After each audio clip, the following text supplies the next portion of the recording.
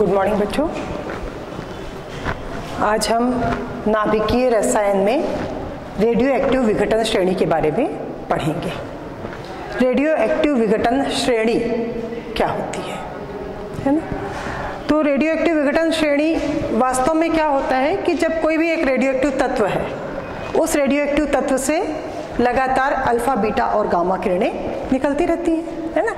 जब alpha beta gamma किरणें निकलती हैं तो एक तत्व दूसरे तत्व में परिवर्तित होते जाता है। जैसे अपन ने इसके पहले पढ़ा, और इसी कारण परमाणु क्रमांक बढ़ता या घटते जाता है। परमाणु क्रमांक के बढ़ने या घटने से आवर्त सारणी में भी उसका स्थान परिवर्तित हो जाता है। हमने पढ़ा था समूह विस्थापन नियम। समूह विस्थापन नियम में हमें क्या देखा कि अगर कोई अल्फ़ा कण निकल रहा है तो आवर्त सारणी में उसका स्थान दो स्थान बाई ओर हट जाता है और अगर एक बीटा कण निकलता है तो दो स्थान दाहिनी ओर हट जाता है।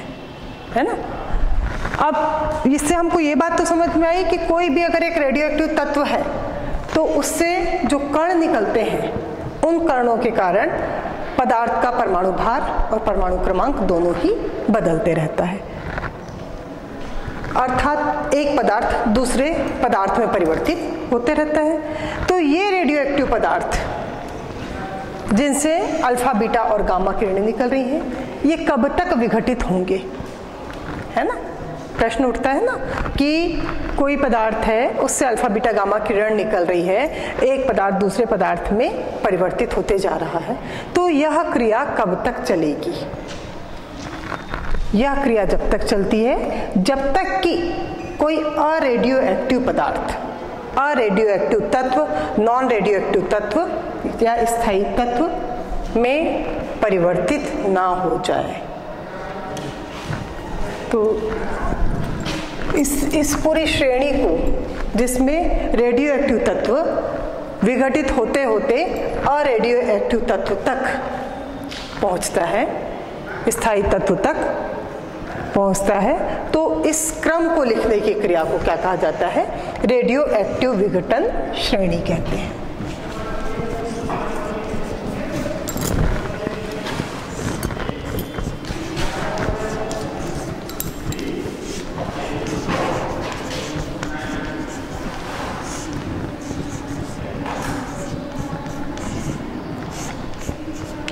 रेडियो एक्टिव विघटन श्रेणी। रेडियो एक्टिव श्रेणी वास्तव में क्या है? जब कोई परमाणु, किसका परमाणु? रेडियो एक्टिव तत्व का। रेडियो एक्टिव तत्व के पूल परमाणु से लगातार अल्फ़ा बीटा और गामा किरणें निकलती रहती हैं और यह क्रिया तब तक चलती रहती है जब तक कि कोई स्थायी नाभिक प्राप्त ना हो जाए। तो इस श्रेणी को कहा जाता है रेडियो एक्टिव विघटन श्रेणी। मतलब रेडियो एक्टिव तत्व है, ये विघटित हो रहा है, और इससे जो प्राप्त श्रेणी है मतलब जितने भी तत्व, किसी स्थायी तत्व के रेडियो एक्टिव तत्व से स्थायी तत्व के बनते तक के बीच में जो तत्व आते हैं, ये पूरे तत्वों की जो श्रेणी है, इसे ही हम रेडियो एक्टिव विघटन श्रेणी कहते हैं। आया समझ में? तो रेडियो एक्टिव विघटन श्रेणी क्या हुई? रेडियो एक्टिव विघटन श्रेणी है कि किसी भी तत्व से अल्फ़ा बीटा गामा किरणों के निकलने के कारण रेडियो एक्टिव तत्व का स्थायी अरेडियो एक्टिव तत्व में परिवर्तित होने तक की, की जो श्रेणी प्राप्त हो रही है यह श्रेणी कहलाती है। क्या कहलाएगी? रेडियो एक्टिव विघटन श्रेणी कहलाएगी। तो सबसे पहले रेडियो एक्टिव श्रेणी जो प्राप्त की गई थी वह थी यूरेनियम श्रेणी। इन श्रेणियों को चार भागों में विभाजित किया गया है। रेडियो एक्टिव श्रेणी रेडियो एक्टिव विघटन श्रेणी है। इसे चार प्रकार में बांटा गया है। पहली श्रेणी कहलाती है फोर एन या इसे ही कहा जाता है थोरियम श्रेणी। थोरियम श्रेणी। फोर एन का क्या मतलब हुआ? फोर एन का मतलब होता है कोई भी ऐसा तत्व रेडियो एक्टिव तत्व, जिसमें अगर हम चार का भाग देते हैं तो हासिल का शेष जो बचता है, वो नील होना चाहिए, शून्य आना चाहिए, है ना? मतलब शेष कुछ भी नहीं बचना चाहिए। इस श्रेणी को कहा जाता है फोर एन श्रेणी या थोरियम श्रेणी, दूसरी श्रेणी। Four N plus one. इसको कहा जाता है नेपचूनियम श्रेणी।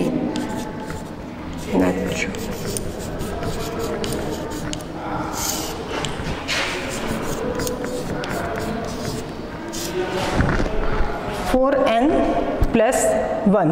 Neptunium श्रेणी, अर्थात वह श्रेणी जिसमें रेडियो एक्टिव तत्व का में अगर हम चार से भाग देते हैं चार से डिवाइड करते हैं तो हासिल शेष एक बचना चाहिए।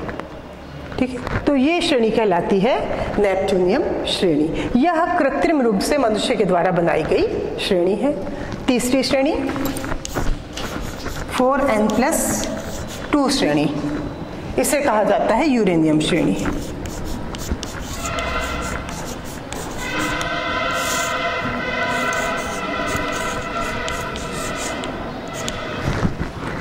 एन प्लस टू यूरेनियम श्रेणी। यूरेनियम श्रेणी का मतलब क्या है? कि यदि इसमें रेडियो एक्टिव तत्व पे हम चार से भाग देते हैं तो हासिल का शेष कितना बचना चाहिए? दो बचना चाहिए। इस श्रेणी को कहा जाता है यूरेनियम श्रेणी। चौथे प्रकार की श्रेणी four N plus three actinium श्रेणी।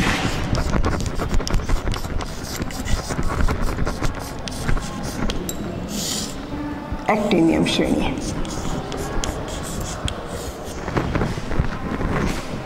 एक्टिनियम श्रेणी क्या होगी फिर किसी भी रेडियो एक्टिव तत्व को अगर हम चार से डिवाइड करते हैं चार से भाग देते हैं तो हमारे पास शेष हासिल का कितना बचा हुआ होना चाहिए तीन तो इस श्रेणी को नाम दिया गया है एक्टिनियम श्रेणी तो इस तरीके से ये जो रेडियो एक्टिव श्रेणी है रेडियो एक्टिव विघटन की श्रेणी चार भागों में बांटी गई है है ना फोर एन अगर बोल दिया तो इसका मतलब है वो थोरियम श्रेणी है। फोर एन प्लस वन कहने से नेपचूनियम श्रेणी हो जाती है। Four N plus two uranium और four N plus three actinium श्रेणी कहलाती है। है ना? अब अपन इस सब श्रेणियों के बारे में पढ़ेंगे। तो सबसे पहले अपन पढ़ेंगे कौन सी श्रेणी? थोरियम श्रेणी। थोरियम श्रेणी कहाँ से प्रारंभ होगी? थोरियम से प्रारंभ होगी। है ना? थोरियम श्रेणी थोरियम से प्रारंभ होती है और थोरियम परमाणु क्रमांक इसका होता है 90 परमाणु भार होता है 232 परमाणु क्रमांक 90 और परमाणु भार हो गया 232 यह श्रेणी कैसे पहचानेंगे कि ये फोरन श्रेणी है या थोरियम श्रेणी है? इसको भी देख लेते हैं। परमाणु भार। कितना? 232 अगर हम 232 में 4 से डिवाइड करें, कितना आता है? बताइए देख के। हम्म हासिल कुछ बच रहा है? फोर, चार, पंच बीस।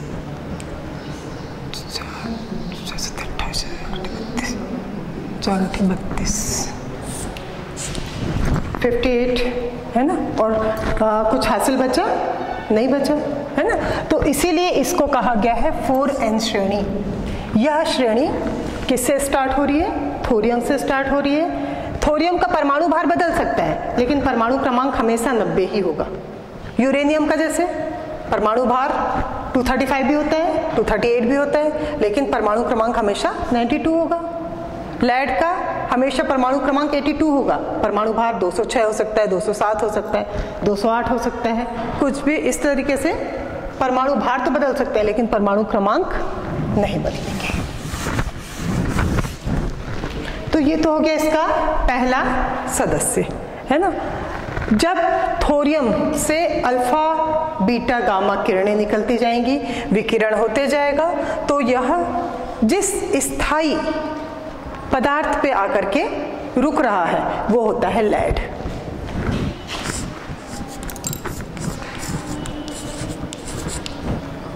परमाणु भार इसका परमाणु भार होता है आ, 208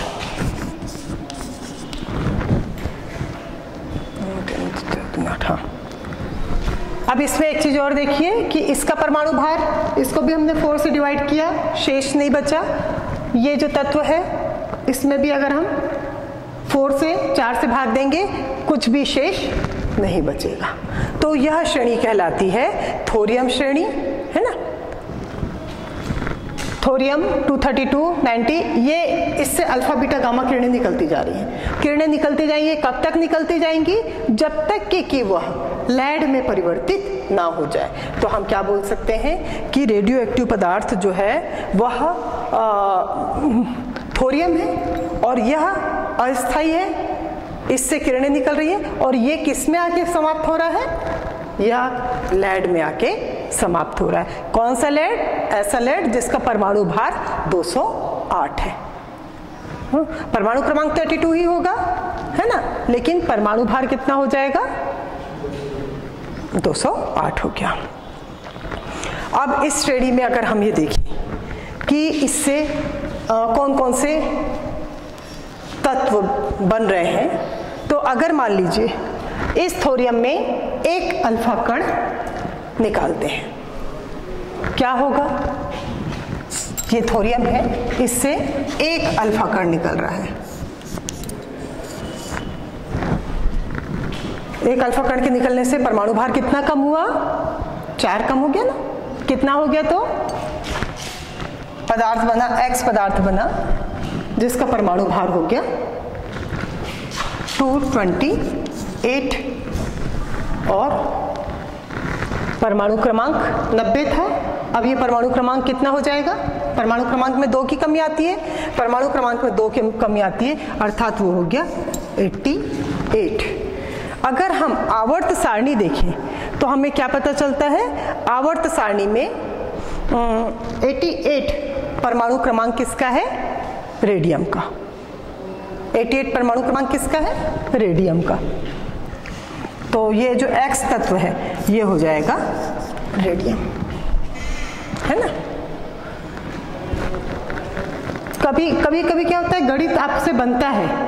आपको ये मालूम है कि अल्फ़ा कण के निकलने से परमाणु भार चार कम हो रहा है परमाणु क्रमांक दो कम हो रहा है। लेकिन आप उस तत्व का नाम नहीं जानते जैसे अभी हम रेडियम का नाम नहीं जान रहे हैं। तो हम क्या करेंगे? उसके बदले एक्स लिख देंगे। एक्स लिख दीजिए वाई लिख दीजिए, है ना? जो भी कोई एक संख्या आप इसका डाल सकते हैं और इसका परमाणु भार परमाणु क्रमांक भी बता सकते हैं। तो इससे क्या होगा? आपको केवल ये चीज़ इतना ध्यान नहीं है, लेकिन इसके ये चीज़ तो मालूम है। ये समझ में आ रहा है कि आप इस चीज़ को जानते हैं कि अगर अल्फ़ा कण निकलेगा तो क्या होगा? अब ये थोरियम से अल्फ़ा कण निकला तो बन गया रेडियम। अगर रेडियम से एक बीटा कण निकलता है तो क्या होगा? और यदि एक अल्फ़ा कण पुनः निकलता है, तब क्या होगा? चलिए, पहले ये अल्फ़ा कण निकला था, इसी से हमने एक बीटा कण निकाल दिया। बीटा कण निकाला, क्या हुआ? परमाणु भार में कोई परिवर्तन नहीं होगा। क्योंकि इसका भार नगण्य है है ना? परमाणु क्रमांक क्या हो जा रहा है? परमाणु क्रमांक में एक की वृद्धि हो रही है। तो जो वाय पदार्थ प्राप्त हो रहा है, इसका परमाणु भार तो 228 ही होगा, लेकिन परमाणु क्रमांक हो जाएगा 89 और 89 परमाणु क्रमांक किसका होता है? ये होता है एक्टिनियम का। ये। तो इस तरीके से कोई भी श्रेणी में कोई तत्व है रेडियो एक्टिव तत्व, इससे अल्फ़ा और बीटा किरणें निकलती जा रही हैं। कब तक निकलेंगी? जब तक है कि वो तत्व लेड 208 और बयासी में परिवर्तित ना हो जाए। ठीक है? क्योंकि यही स्थायी पदार्थ है तो इसी में परिवर्तित होना आवश्यक है। तब तक क्रिया चलती रहेगी, चाहे अल्फ़ा कण निकले, चाहे बीटा कण निकले, लेकिन कब तक निकल रहे हैं? जब तक कि स्थायी नाभिक ना बन जाए। ठीक है? अब क्या हो रहा है कि अगर हमको इसी से हम ये भी पता कर सकते हैं कि इस अभिक्रिया में कितने अल्फ़ा कण निकले और कितने बीटा कण निकले। कैसे पता करेंगे?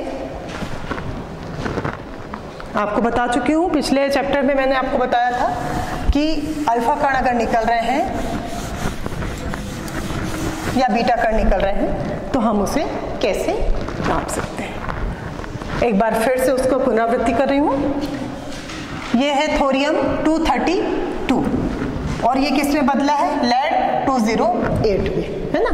232 से 208 तक। तो क्या करना पड़ेगा पहले? हमें इससे इसको भाग दे देंगे ए, घटा देंगे। 232 माइनस 208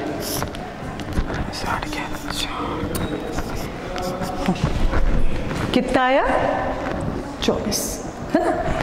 अब ये तो इस, इन दोनों का अंतर आया। हमको किस चीज़ को निकालना है? अल्फ़ा कण निकालना है। जब अल्फ़ा कण निकालेंगे तो क्या करना पड़ेगा इसको? अल्फ़ा कण का भार यानी चार। इसको चार से भाग देंगे। कितना आ गया? अच्छा चौबीस। छह अल्फ़ा कण निकले। इस क्रिया में कितने अल्फ़ा कण निकले? छह अल्फ़ा कण निकल गए। जब छह अल्फ़ा कण निकलेंगे तो परमाणु क्रमांक कितना कम हो जाएगा?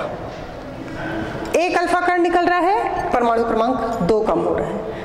छह अल्फ़ा कण निकलेंगे, परमाणु क्रमांक कितना कम हो जाएगा? बारह कम हो जा रहा है। तो बारह परमाणु क्रमांक कम हो रहा है, ये नब्बे था। इसमें से छह अल्फ़ा कण निकले, परमाणु क्रमांक बारह कम हो गया। कितना बच गया? कहा लिखो?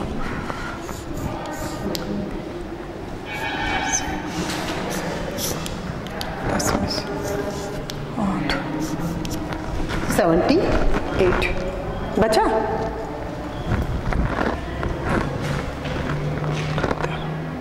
ठीक है?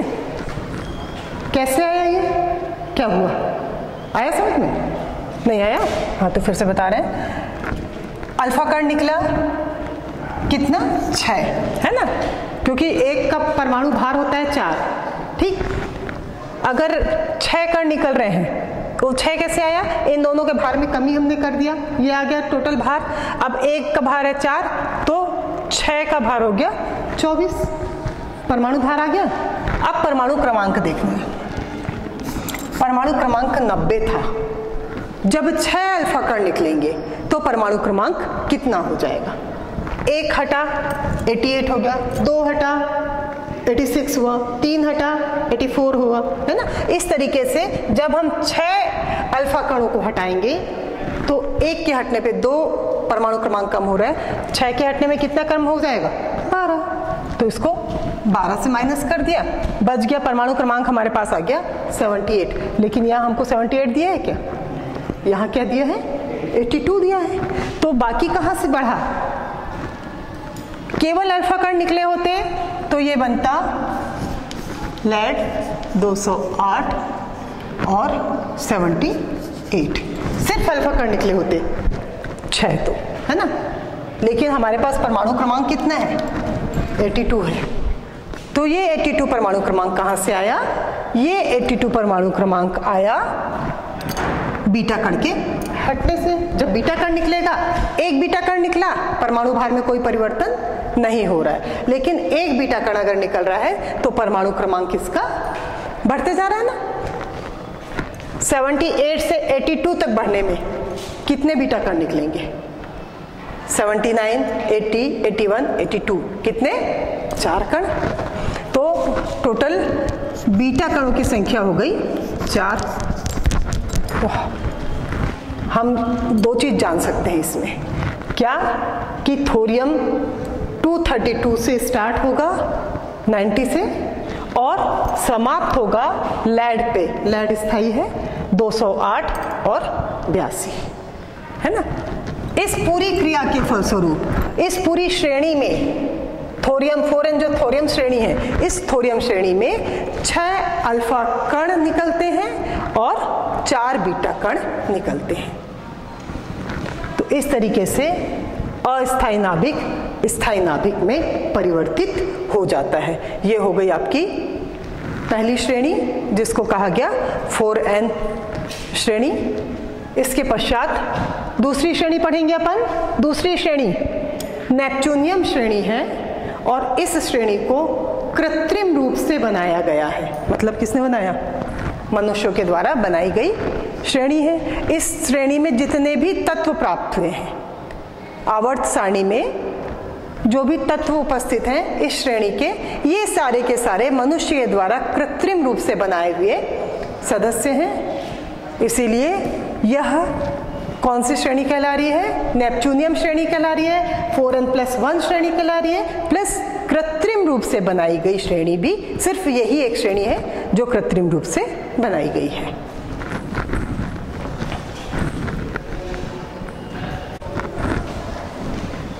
तो ये हमने पढ़ा नेपच्यूनियम श्रेणी के बारे में। नेपच्यूनियम श्रेणी के बारे में आगे और बताती हूँ।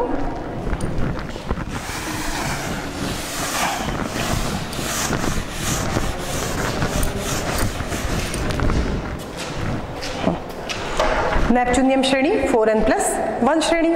क्यों कह रहे हैं फोर एन प्लस वन? क्योंकि इसमें शेष एक बचना चाहिए। इसको भी अपन देख लेते हैं। N P two thirty seven और नाइन्टी थ्री क्या है ये? नेपच्यूनियम है। 237 इसका परमाणु भार और 93 इसका परमाणु क्रमांक। कैसे पता चलेगा कि ये फोर एन प्लस वन श्रेणी है? तो इसको अपन देखेंगे। 237 डिवाइडेड बाई फोर क्या होगा? बीस तीन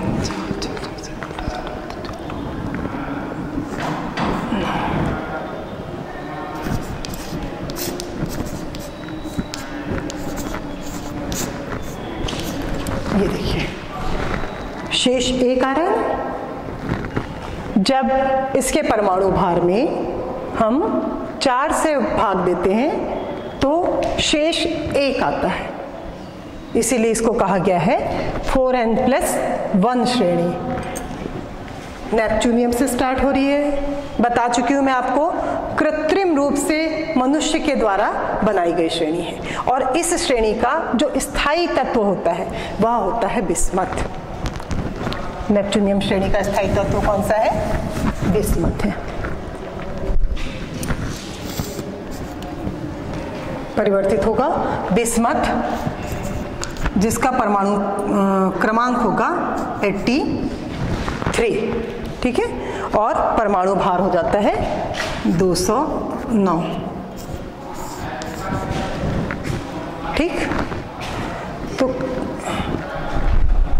ये जो तीन श्रेणियाँ हैं ना फोर एन थोरियम श्रेणी four N plus two uranium श्रेणी और four N plus three actinium श्रेणी। ये तीनों श्रेणियाँ लेड पे समाप्त होती हैं। लेकिन नेपच्यूनियम श्रेणी जो कृत्रिम रूप से बनाई गई है, यही एक ऐसी श्रेणी है जो किसके ऊपर समाप्त हो रही है? बिस्मत पे। स्थायी नाभिक कौन सा है इसका? बिस्मत है। तो बिस्मत स्थायी नाभिक के रूप में हमको प्राप्त हो रहा है? नेपच्यूनियम से स्टार्ट हुई। इस क्रिया में भी कितने अल्फ़ा कण निकलेंगे, कितने बीटा कण निकलेंगे, इसको भी आप निकाल सकते हैं। हुँ? कैसे निकालोगे? चलिए, इसमें से इसको घटा दीजिए, है ना?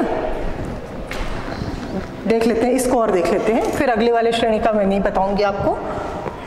नेपच्यूनियम 237 है, और ये है 209 कितना आया हासिल का? सत्रह पंद्रह सोलह सत्रह आठ। Twenty eight. आया? टू थर्टी सेवन में से टू ज़ीरो नाइन को माइनस करिए, आ गया ट्वेंटी एट ट्वेंटी हाँ ये याद रखिए कि ये चार से डिवाइड होने वाली संख्या ही आपके पास आएगी, क्योंकि अल्फ़ा का निकल रहा है तो चार से ही डिवाइड होगी, है ना? अल्फ़ा कण निकला, कितने हो गए? सेवन सात सौ अट्ठाईस। सेवन अल्फ़ा कण निकल गए सात अल्फ़ा कण निकल गए? निकला, समझ में आया इतना? जब सात अल्फ़ा कण निकलेंगे तो परमाणु भार 237 से 209 हो जाएगा। हुँ? आप चाहे तो उसको सीरीज़ से कर सकते हैं। X A B C D इस तरीके से नाम देते चलिए और ए अल्फ़ा कण को हटाते चलिए। तो परमाणु भार चार कम करते जाइए, परमाणु क्रमांक में दो कम करते जाइए। तो अंत में हमारे को क्या मिलेगा? 209 परमाणु भार मिलेगा। परमाणु क्रमांक बदलेगा। है ना? परमाणु क्रमांक क्यों बदलेगा? क्योंकि यहाँ पे बीटा कण भी निकले हैं ना, इसलिए। तो सात अल्फ़ा कण निकल गए। जब सात अल्फ़ा कण निकलेंगे तो परमाणु क्रमांक कितना कम हो जाएगा? एक निकलता है तो दो, सात निकलेंगे तो चौदह। तो परमाणु क्रमांक चौदह कम हुआ, ये है 93 इसमें से चौदह परमाणु क्रमांक को कम कर दीजिए। कितना आया?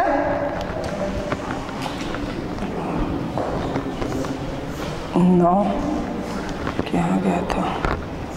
Seventy nine. है ना? परमाणु क्रमांक हमारे को चाहिए 83 परमाणु क्रमांक हमारे पास आ रहा है 79 ये कब आएगा? जब आप अल्फ़ा कण को निकालते चलिए। एक, दूसरा अल्फ़ा कण, तीसरा अल्फ़ा कण। इस तरीके से कितने अल्फ़ा कण निकाल दिया आपने? सात अल्फ़ा कण निकाले। तो सात अल्फ़ा कण निकालने से हमारे पास जो पदार्थ आ रहा है एक्स उसका परमाणु भार 209 है, लेकिन परमाणु क्रमांक कितना है? 79 है। ये कब है? जब इसमें से केवल अल्फ़ा कण निकल रहे हैं। है ना? अब बीटा कण भी निकलना है। हमें मालूम है बीटा कण निकलता है तो परमाणु भार में कोई परिवर्तन नहीं आता है। परमाणु भार में परिवर्तन नहीं आता यानी परमाणु भार 209 ही रह जाएगा। परमाणु क्रमांक बढ़ रहा है। कहाँ तक बढ़ाना है? 83 तक। तो 79 के बाद 80, 81, 82 और 83 कितने बीटा कण निकल गए? चार बीटा कण निकले। तो हम ये बोल सकते हैं कि नेपच्यूनियम श्रेणी में टोटल 11 कण निकलते हैं। अल्फ़ा और बीटा मिला करके कुल 11 कण निकलते हैं, जिसमें से सात अल्फ़ा कण निकलते हैं, चार बीटा कण निकलते हैं और इन दोनों अल्फ़ा और बीटा कण के निकलने के कारण स्थायी नाभिक बिस्मथ प्राप्त होता है। समझ में आया? तो ये हो गई नेपच्यूनियम श्रेणी। अभी मैंने आपको बताया, सिर्फ़ नेपच्यूनियम श्रेणी ही ऐसी श्रेणी है जो कृत्रिम रूप से मनुष्य के द्वारा बनाई गई है। है ना? और यही श्रेणी है जो लैड पे समाप्त ना होके बिस्मत नामक स्थायी तत्व पे समाप्त हो रही है। बिस्मत का परमाणु क्रमांक 83 है। बाकी लैड का परमाणु क्रमांक कितना है? 82 इसके बाद पढ़ेंगे यूरेनियम श्रेणी।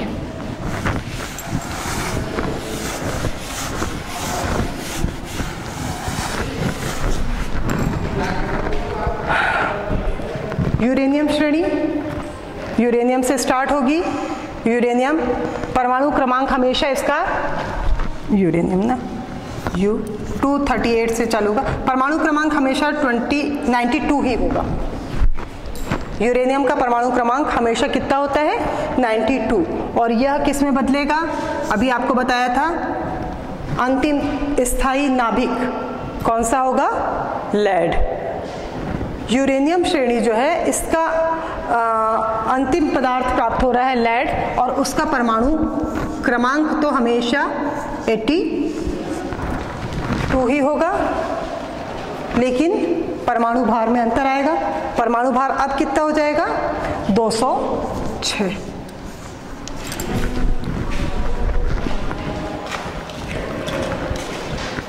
यूरेनियम 4n प्लस टू श्रेणी है। पता करेंगे अपन। 4n plus two two thirty eight divided by किससे? फोर।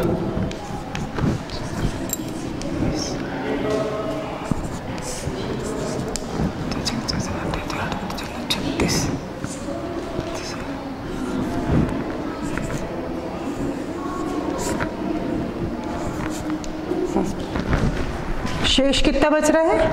दो। कौन सी श्रेणी कहलाएगी फिर ये? हम्म? यूरेनियम श्रेणी फोर एन प्लस टू श्रेणी कहला रही है।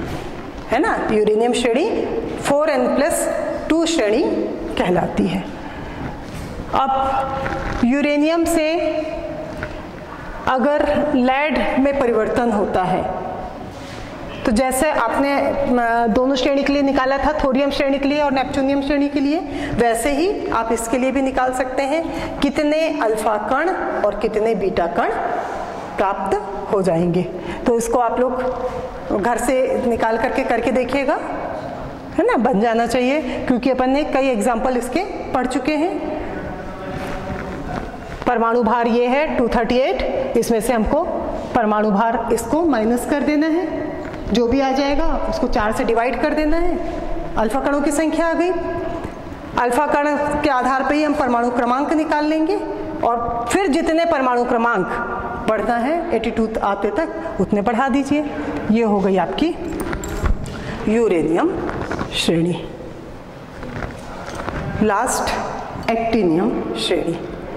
एक्टिनियम श्रेणी? एक्टिनियम श्रेणी का भी लास्ट सदस्य पहला क्या होगा? एक्टिनियम से चालू हो रहा है वो। या अगर हम इसको एट्टी यहाँ पे लिख लेती हूँ। एक्टिनियम 89 परमाणु क्रमांक होता है और परमाणु भार होता है 231 यह परिवर्तित हो रहा है किसमें? अंतिम तत्व क्या होना चाहिए? स्थायी तत्व। वो होता है लेड 207 207 और बयासी।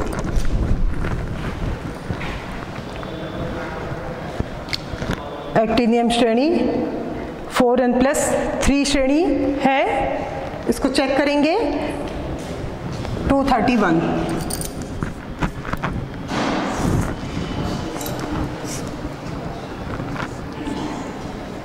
फोर से डिवाइड कीजिए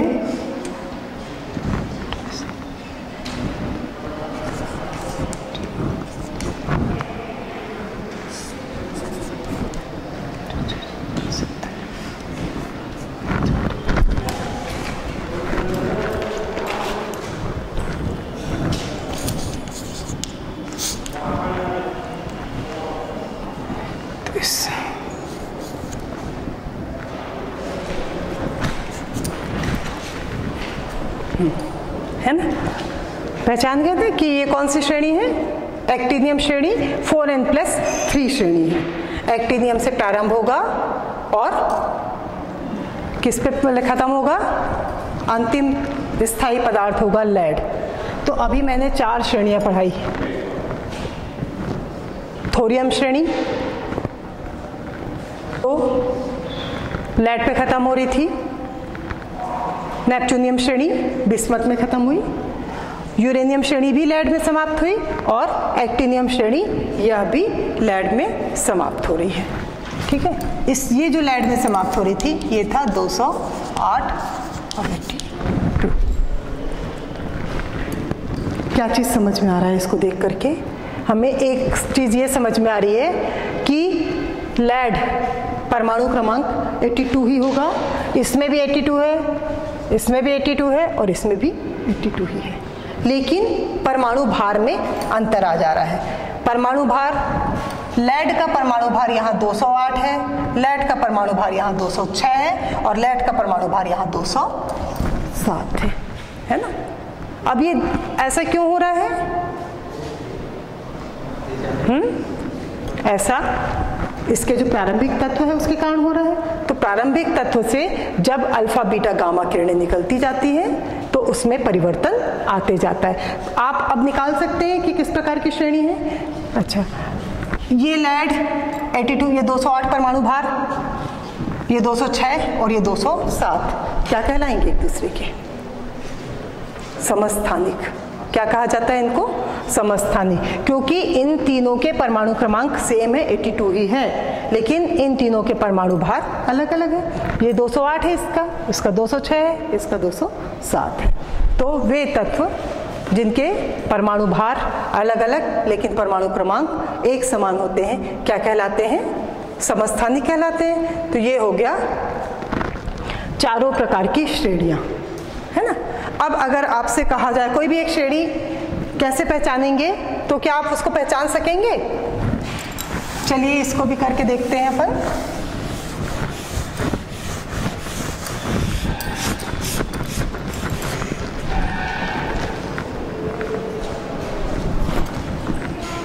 एक तत्व है लैड। किसी भी श्रेणी के विघटन के द्वारा हमें लैड प्राप्त हो रहा है, स्थायी नाभिक है ना? अगर ये कहा जाए कि 207 परमाणु क्रमांक तो हमेशा 82 ही होगा ना? लैड चाहे आ, कैसे भी प्राप्त हो लैड का परमाणु क्रमांक हमेशा कैसा होगा? 82 ही होगा। तो अब ये बताइए कि ये लैड 207 परमाणु भार और प्यासी परमाणु क्रमांक वाला किस रेडियो एक्टिव विघटन श्रेणी का सदस्य है? कैसे निकालेंगे हम इसे? आपको तरीका बताया था, ये 207 परमाणु भार जो है, इसको किससे डिवाइड करना है? चार से डिवाइड करेंगे, कितना शेष आता है या नहीं आता है? इसके आधार पे हम क्या बोल सकते हैं कि यह किस विघटन श्रेणी का सदस्य है? तो लीजिए 207 और चार से डिवाइड किया। चार पाँच बीस सात चार एक तीन बच गया शेष कितना बचा तीन कौन सी श्रेणी का सदस्य हुआ ये यह हुआ four N plus three actinium श्रेणी का सदस्य आपको मैंने जब ये श्रेणियाँ पढ़ा रही थी, तब भी ये बताया था कि अंतिम सदस्य क्या होगा? लैड होगा। लैड अगर 207 है वो कौन सी श्रेणी का सदस्य हो गया? एक्टिनियम श्रेणी का सदस्य हो गया, है ना? तो इस तरीके से आप क्या चीज़ निकाल सकते हैं? कितने अल्फ़ा, बीटा, गामा कण निकल रहे हैं? कौन सी श्रेणी है? ठीक है? और ये सारी चीज़ें इससे प्राप्त, जानकारी प्राप्त हो जाती है। दूसरा एक और करिए। परमाणु क्रमांक एक पदार्थ है एक्स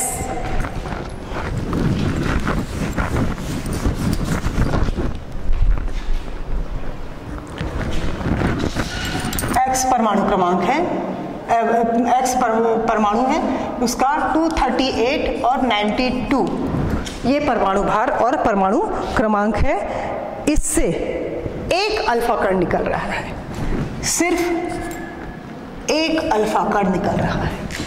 तो एक अल्फ़ा कण निकलने के बाद इसमें कितने न्यूट्रॉन्स होंगे? अभी तक मैंने ये श्रेणियों में ये चीज़ को नहीं बोला है कि कितने न्यूट्रॉन है, कितने प्रोटॉन है है ना? लेकिन हमको इस श्रेणी में कितने न्यूट्रॉन होंगे, इसको भी पता लगाया जा सकता है। एक अल्फ़ा कण निकला तो जो पदार्थ बना वाई क्या हो जाएगा इसका परमाणु भार? 234 और ये हो गया 90 हुआ? जब एक अल्फ़ा कण निकला, परमाणु भार में चार की कमी आ गई 238 से 234 परमाणु क्रमांक में दो की कमी आई 92 से 90 प्रश्न क्या था मेरा? इस क्रिया में कितने न्यूट्रॉन, इस पदार्थ में जब एक अल्फ़ा कण निकल जाता है तो बनने वाले पदार्थ में कितने न्यूट्रॉन्स होंगे? न्यूट्रॉन की संख्या हमें कैसे पता चलेगी? टोटल भार कितना है? ये। परमाणु भार बराबर हो गया 234 और परमाणु क्रमांक बराबर हो गया 90 तो परमाणु क्रमांक प्रोटॉन और इलेक्ट्रॉन की संख्या होती है। नाभिक में उपस्थित प्रोटॉन की संख्या 90 है। कुल भार 234 है। तो न्यूट्रॉन की संख्या बताइए। न्यूट्रॉन बराबर क्या होगा? निकाल सकते हैं?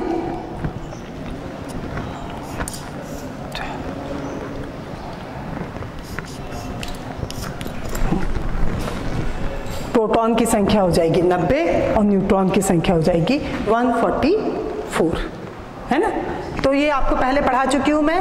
एनपी अनुपात, जब 1.5 या उससे अधिक हो जाता है तो वे तत्व अस्थायी हो जाते हैं।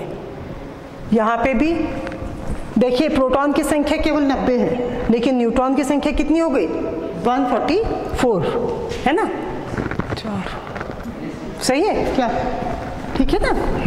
तो हम ये बोल सकते हैं कि जब प्रोटॉन और न्यूट्रॉन इन दोनों की संख्या में बहुत अधिक अंतर आता है जनरली अपन ने क्या देखा था? प्रोटॉन और न्यूट्रॉन की संख्या परमाणु के नाभिक में लगभग बराबर होती है। या एक या दो कम ज़्यादा हो सकती है है ना? जैसे कार्बन ले लीजिए। परमाणु भार 12 और परमाणु क्रमांक 6 है। तो प्रोटॉन भी 6 है और न्यूट्रॉन भी 6 ही है। लगभग बराबर है। लेकिन यहाँ क्या हुआ? प्रोटॉन 90 थे, न्यूट्रॉन भी 90 होना था। या ये 144 था ये भी इतना होता, परमाणु भार अगर इतना है तो इसका आधा आधा कर देना चाहिए था। कई तरीके हो सकते थे, परंतु होता क्या है? इन दोनों के बीच में काफ़ी अंतर होता है, और इसी कारण ये तत्व जो है, ये रेडियो एक्टिव तत्व के रूप में परिवर्तित हो गया है। है ना? तो ये हो गया, आप इसको निकाल लिए। न्यूट्रॉन की संख्या कितनी आ गई? ये। इस तरीके से आप प्रॉब्लम को सॉल्व कर सकते हैं। Thank you.